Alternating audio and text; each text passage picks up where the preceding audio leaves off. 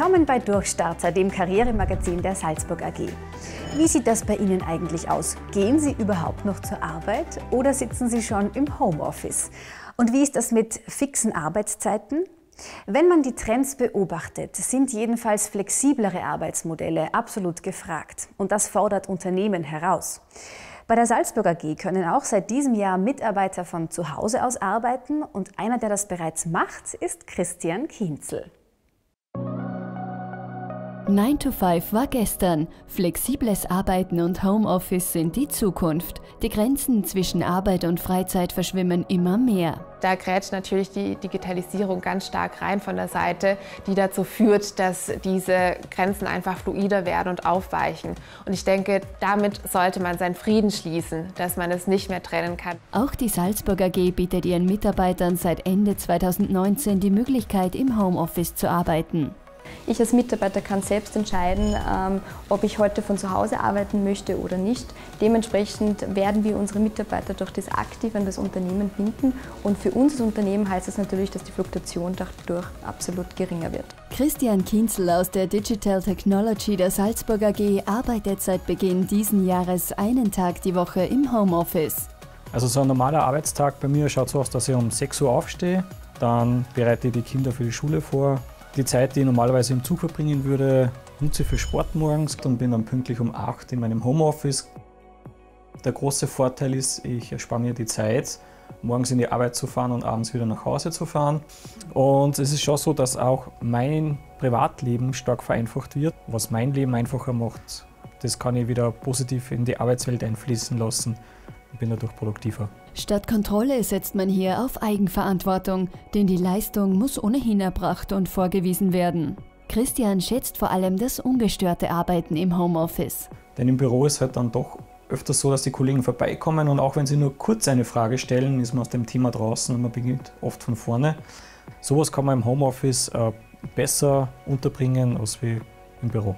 Informationsflüsse gehen laut Kinzel nicht verloren. Dank Telefonkonferenzen steht er in ständigem Kontakt mit den Kollegen. Am nächsten Tag geht es für Christian Kinzel wieder an seinen richtigen Arbeitsplatz. Auch wenn er die Vorteile des Homeoffice zu schätzen weiß, freut er sich dann wieder auf den persönlichen Kontakt mit den Kollegen. Zweiter Tag wäre für mich jetzt durchaus denkbar, kann ich mir gut vorstellen. Und mehr Tage würde ich jetzt nicht mehr nehmen, weil man hat ja doch, man ist in vielen Besprechungen, wo man physisch anwesend sein sollte und das wäre dann eher schwer zu koordinieren. Ja. Agiles Arbeiten ist ein absoluter Kulturchange. Mitarbeiter und Führungskräfte müssen sich mehr denn je auf Eigenverantwortung, Freiheiten und Vertrauen einlassen. Das Heizkraftwerk Mitte versorgt die Stadt Salzburg verlässlich mit Fernwärme. Einer, der dort seit 25 Jahren seine Runden dreht, ist Anton Leobacher.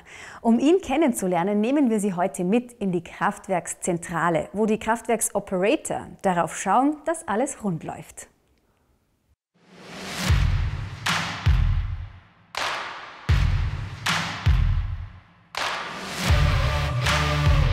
Dieser Mann heizt den Salzburgern an kalten Tagen so richtig ein. Anton Leobacher ist Kraftwerksoperator im Heizkraftwerk Mitte. Seit 25 Jahren arbeitet er hier und kennt das Kraftwerk wie kein anderer. Seine heutige Schicht beginnt um 5.30 Uhr. Erst werden die wichtigsten Informationen mit dem Kollegen aus der Nacht ausgetauscht. Da wird zuerst einmal die Dienstübergabe gemacht, da wird erzählt, was so vorgefallen ist in der Nacht oder halt im Dienst, was vorher war. Auf seinen Monitoren in der Warte haben Anton und sein Kollege alles im Überblick. Im herunteren Bereich ist das, was mein Kraftwerk betrifft, und im oberen Bereich ist das Fernwärmenetz drauf, wo ich die ganze Verteilung im Stadt sehe. Und auch der Speicher im Nord ist auch in den oberen Bereich gebildet, wo ich dann die Schichtung sehe, wie, der, wie vorher geladen ist, der Boiler. Das Fernwärmenetz in Salzburg ist rund 250 Kilometer lang. Circa 22.000 Kunden werden mit ökologisch sinnvoller Fernwärme versorgt. Für Anton ist es Zeit für den Kraftwerksrundgang.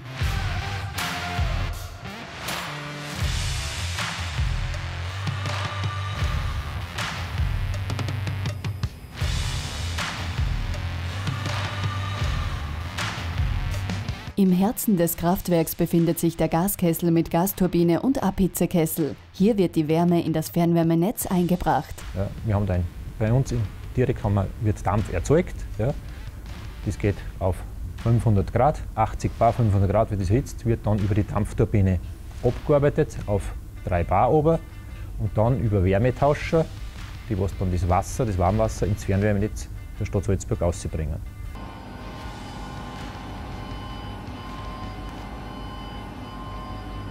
Vor allem die Reinheit des Wassers spielt im Kraftwerk eine große Rolle. Das Stadtwasser wird in einer Vollentsalzungsanlage aufbereitet, um die Anlage vor Ablagerungen zu schützen. Und um das zu überwachen, haben wir eine stetige Überwachung durch Analysegeräte. Da haben wir eine Analysenwand, wo dann die Leitfähigkeit gemessen wird, pH-Wert gemessen wird. Neben einem 14-tägigen Notstromdieseltest müssen auch die Speisewasserpumpen vom Gaskessel umgeschaltet werden, damit diese gleichmäßig belastet werden. Also ich, ich will dann das Aggregat da, das was ich umschalten will, in dem Fall haben es dann die Speisewasserpumpen. Jetzt läuft momentan die Speisewasserpumpe 1, dann schaltet man dann auf die Speisewasserpumpe 2 um, das klicke ich dann an, da wird die, die Pumpe gestartet, die was in Betrieb gesetzt wird, wird gestartet, wird dann über den Frequenzumformer langsam hochgefahren bis einen Gleichlauf haben und dann wird die laufende Pumpe, was vorher gelaufen ist, langsam runtergefahren und abgestellt. Viele scheinbar kleine Handgriffe wie diese sind es, die dafür sorgen, dass es im Winter in Salzburgs Wohnungen schön warm ist. Es kann schnell gehen und man steht vor der Situation, dass man einen Lebenslauf schreiben muss. Das letzte Mal ist vielleicht Jahre her. Und dann die ganzen Fragen. Wie muss das formell mittlerweile aussehen? Welches Foto ist ideal? Und wie kann ich mich positiv hervorheben? Wir haben umfangreiche Tipps dazu. Sie haben eine tolle Jobausschreibung gefunden, die genau zu Ihnen passt. Jetzt geht's ans Schreiben des Lebenslaufs. Aber wie muss der heutzutage eigentlich aussehen? Es ist total wichtig, dass der Lebenslauf schön übersichtlich ist, dass ein roter Faden zu erkennen ist und dass auch das Foto professionell ist und kein privates bzw. Urlaubsfoto hier verwendet wird.